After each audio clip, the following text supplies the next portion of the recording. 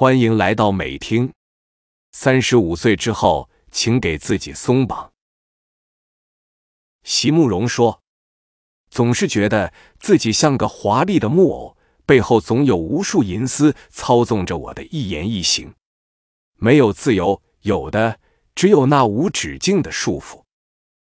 人到了一定年纪，日子总是兵荒马乱，神经也变得紧绷，焦虑内耗不断加剧。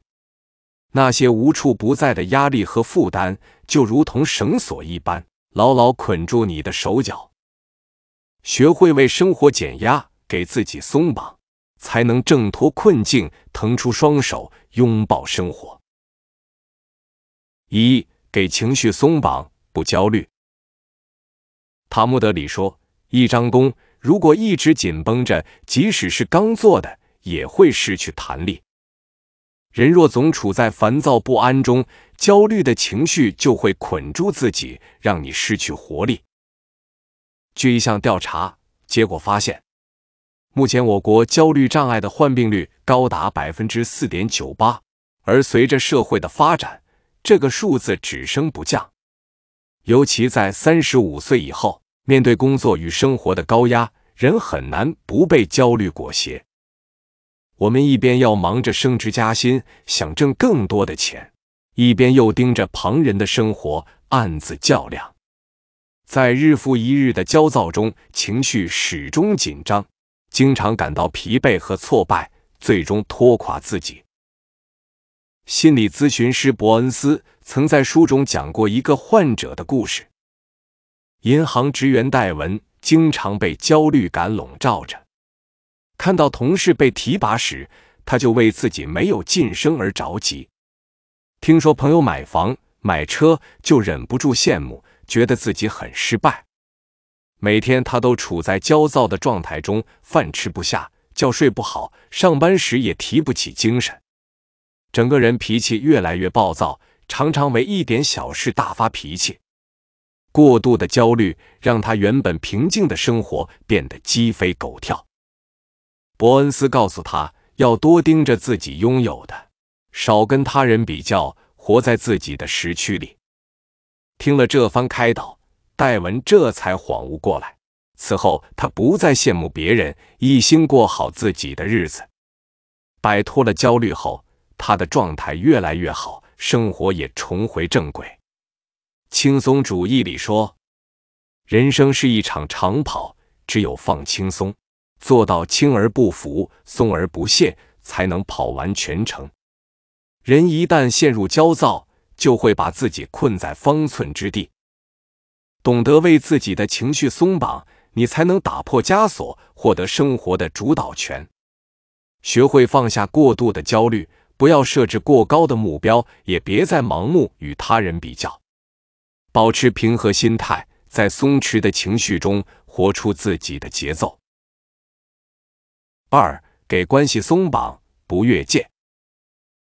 三毛说。朋友之间再亲密，分寸也不可差失。自以为熟，结果反生隔离。与人交往关系好的时候，我们都恨不得和对方绑在一块，不分你我。但其实两个人靠得太近，不留一点空隙，往往更容易扎伤彼此。十九世纪，安徒生和狄更斯在一个文学聚会上认识了。两人很快就成为朋友，彼此经常通信。有次，狄更斯在信中随手写了句：“如果你来英国，请一定来我家小住。”这本是一句客套话，谁知安徒生却当了真。不久后，安徒生事先没有打招呼，就直接来到了狄更斯家做客。当时，狄更斯正因一些官司忙得焦头烂额，可仗着关系好。安徒生却每天都拉着狄更斯闲聊、游玩，还随意翻阅狄更斯的手稿，种种行为都让狄更斯感到非常生气。等安徒生离开后，狄更斯就再没有回复过他的来信，两人也再没来往。陈果说：“人与人就像两个王国，各自应当保持着宽阔、自然而舒适的疆域。”无论和谁相处，别把彼此捆得太紧，保持一点距离，才能久处不累。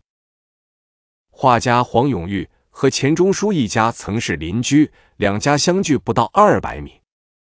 可二十多年来，尽管两人交情匪浅，他却怕打扰到对方，很少去钱家拜访。有时他想拿些家乡特产给钱家，也是先打电话告知，送到钱家门口就回了。而钱钟书若是登门拜访，也会先询问黄永玉是否有空。就这样，他们的关系非但没有疏远，反倒日渐深厚。周国平曾说：“分寸感是成熟的爱的标志。”他懂得遵守人与人之间必要的距离。与任何人相处，若是失去必要的尺度，只会将对方推远。保持分寸，不越界，不打扰，才能维系感情的长久。三十五岁之后，学会给关系松绑，亲而有间，熟不逾矩，在淡漠中保持一份松弛，才是最好的相处之道。三，给精神松绑，不内耗。现实中，你是否也出现过这种情况？生活出点小错，便觉得身边所有人都在嫌弃你、指责你。他人的一句话、一个表情，你会在心里揣测半天，浮想联翩。想做一件事情，却又害怕做不好，瞻前顾后，迟迟不敢行动。长久的处于内耗中，不仅让你寸步难行，还会使你心力交瘁。越活越疲惫，就像毕淑敏所说，有很多的束缚不在他人手里，而在自己心中。放下内心的自我折磨，保持精神松弛，才能避免不必要的烦恼。工程师威利·卡瑞尔曾任职某钢铁公司，有一次，他为客户安装一台瓦斯清洁机。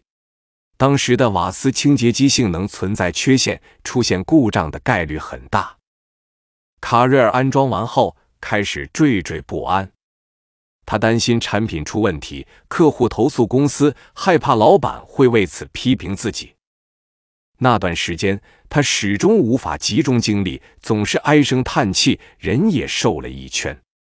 后来朋友知道了，对他说。想那么多干什么？最坏的结果不就是被开除吗？听了这话，卡瑞尔才醒悟过来，大不了就是被开除，又不是活不下去了。他不再想着这件事，而是专注手头的工作，整个人的状态逐渐恢复过来。很长时间过去了，他之前担心的事都没有发生。作家松浦弥太郎说：“所谓人生困境。”不过是你胡思乱想、自我设置的枷锁。凡事想得过多，就会被一点小事缠住，给自己增加心理负担。三十五岁之后，请给自己的精神松绑，降低内心的敏感，清空纷杂的思绪，你会发现内耗少了，心就不累了。四，给生活松绑，不着急。清华教授宁向东曾感慨道：“整个社会陷入了一场忙碌症。